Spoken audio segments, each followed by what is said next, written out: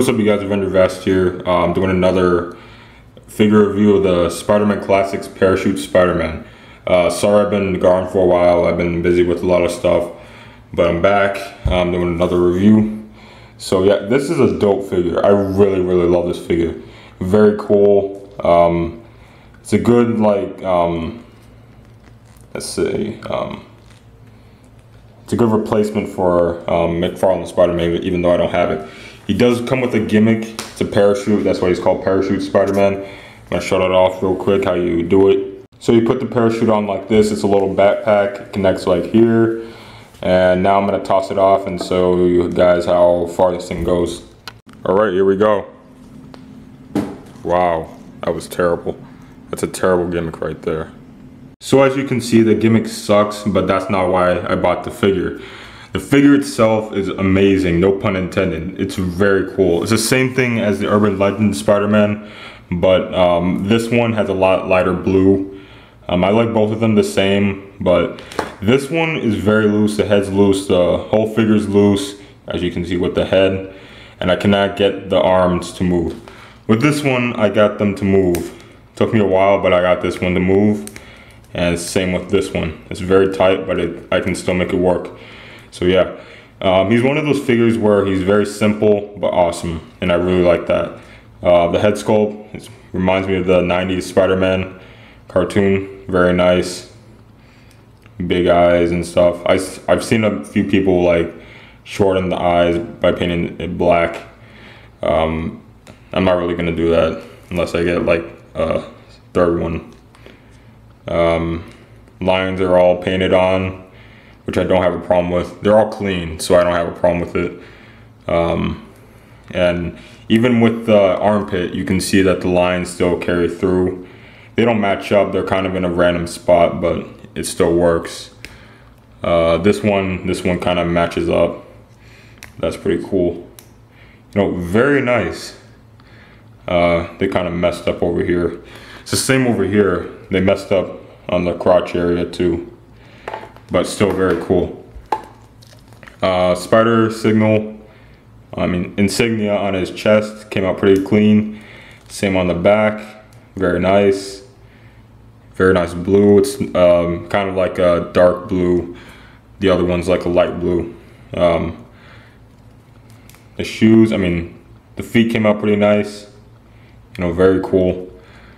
You know, very cool figure. Um, he comes with these two web shooting hands. Very nice. You know, very cool. The articulation is amazing, no pun intended. Again, head looks up very far, moves down, side to side. Um, arm moves up and down, back and forth. He has an armpit joint, which is very nice. Um, the McFarlane one had an armpit joint, but it was like different. But this one is still very cool. So if you wanted to, you can get this guy in a really, look at that, very nice. You can get this guy in a really like you know, Spider-Man pose. You know, very cool.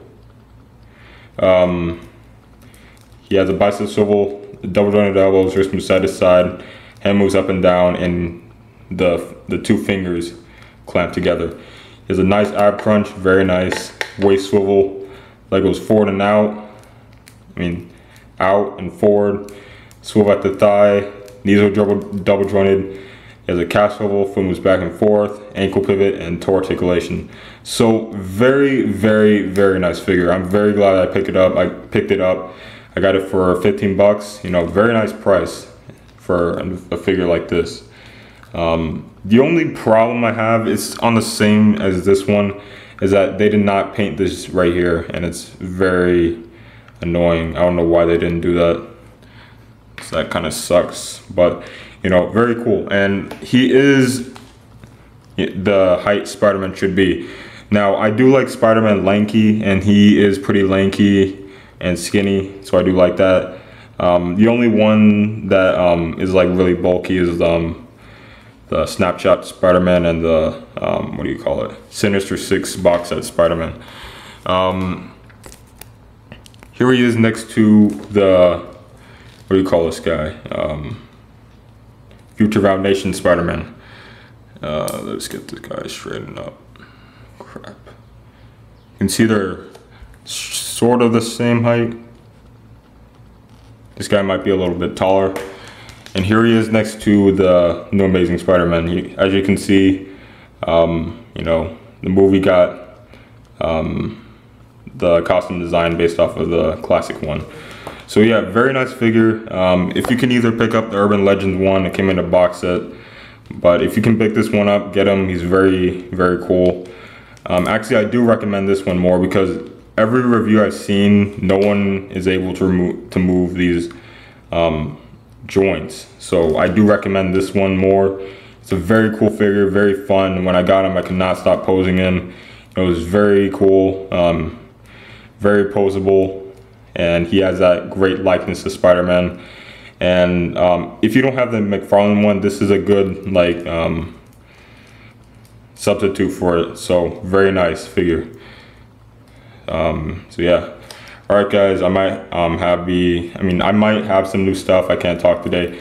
I might have some new stuff coming out um, behind the shot with Avenger. Um, working on some stuff with that. So yeah, stay tuned for that. and I'll catch you later.